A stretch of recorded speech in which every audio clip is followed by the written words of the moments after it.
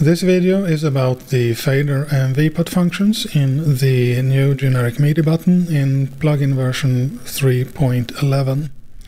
So let's start with the fader function, which by far is the most complex thing in this update. For the graphic design, it uses a design system similar to that for dials. And if you have created custom designs for the control change button or for dials, you need to repackage them a bit to be used by the generic MIDI button. If I connect this button to channel 2, CC1, uh, it is connected to the first channel in Cubase. As for the control change action, you have a slider for the fader speed, how fast the fader should move when you press the button. There is also a new feature where you can control the speed using a script variable. Even though this button in itself isn't controlled by scripts, you can use a script button to, for instance, toggle between two speed values stored in a script variable and you can reference the name of this script variable. If that script variable exists and have a value other than zero, it will be used for the fader speed. If the variable doesn't exist or if the value is zero, it will use the fader speed from the slider in the editor. As for the control change button, you can decide if you want to have some information displayed along with the faders. I can, for instance, display the decibel value from Cubase. So when I change the fader, I get the decibel value in the information field. As for dials, you can select to have a VU meter displayed on the button. So if I connect this to channel 10, CC1, and play in Cubase, I will have a VU meter displayed on the button.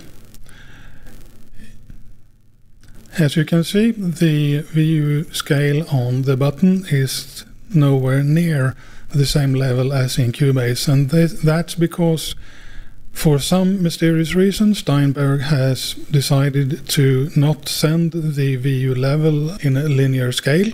Instead, they are using an exponential scale, so it's very hard to get the same view on the button. This is what the VU scale dropdown is for. I've created a scale for Cubase that recalculates that exponential scale to a linear scale. So the display on the button is much more like the display in the mixer in Cubase. There is also an option to display a state icon on the button. So if I connect the state icon to channel 2 CC2, which is the mute state for the first track, I can have an on icon like this and an off icon like that and then I will have the icon available on the button and if I change the mute state in Cubase you see that the state is changed on the icon. You can change the position wherever you want the icon and the size of the icon. And you can do like this to only show the icon when it is on. So when I mute the channel, the icon is visible, and when it's not muted, it's hidden. You can also go wild and have the icon cover the complete button. So when it's muted, you only have a mute icon displayed. There are also some visual tweaks you can do. You can colorize the handle if you wanted to have some other color than what is decided by the design. You can show a handle shadow, making the design a bit more 3D. And you can colorize the information area to whatever color you like. The default direction for a fader is to be vertical, but if you want a horizontal fader, you can select this radio button and you will have a horizontal fader. The auto setting is also used when you have two buttons. So let's make a copy of this button and paste it alongside it and it will automatically match those two buttons as a pair controlling the same thing. You will notice that some of the labels are slightly green and those properties are automatically synced between these two buttons. So if I change, for instance, the speed on the lower button, it will be changed on the upper. And if I change the design, it will be changed for both buttons. So they are linked and synced. As long as they are placed side by side, they are synced. So I can move these buttons however I like, and they will still be synced together. The fader direction selections, when it's set to auto, the lower button will move the fader down and the upper button will move the fader up, regardless of uh, how they are placed. That's the way it is. So I can press the lower button to make the fader down and the upper button to move the fader up. And that still applies uh, no matter how I move the buttons. If I were to change one of the buttons so it is controlling something else, the connection is broken since they are no longer controlling the same thing.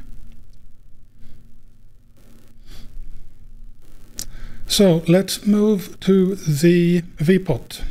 It's much like the same thing as the fader. You have the same design system to display VPOT designs. So if I connect it to CC2 on channel 1, it should be connected to the panning of that channel. I should change the display to at current value instead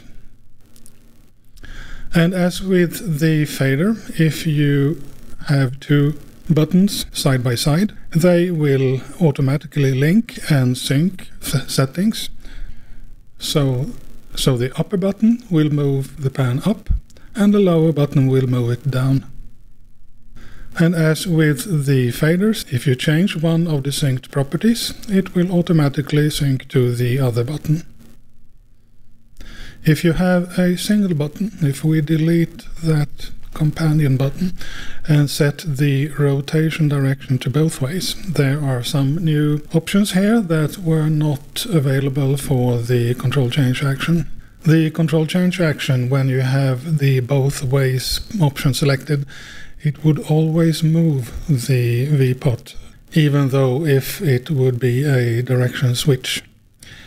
You can now stop that so you don't move before that time has passed and you don't move after a double press. So if I double press this button, the direction will switch. We don't see it because we don't have any indications, but if, if I add indications, we see that the direction switch, but nothing is sent. It's only a direction switch that is made. Then I need to press it again to actually perform uh, some change that are sent to the DAW. You can also have the option to automatically change direction at end positions. So if I press this to the end, it will automatically change direction. It won't start to move in the other direction, but it will change. So the next time you press the button, it will move in that direction. And finally, the scrub wheel is very much like the VPOT, but you have different controls for clockwise and counterclockwise movement, and you don't have this automatically change direction at end points available because there are no endpoints for scrub wheel. That's all for this video. Check out the video for scripting as well. Thanks for watching.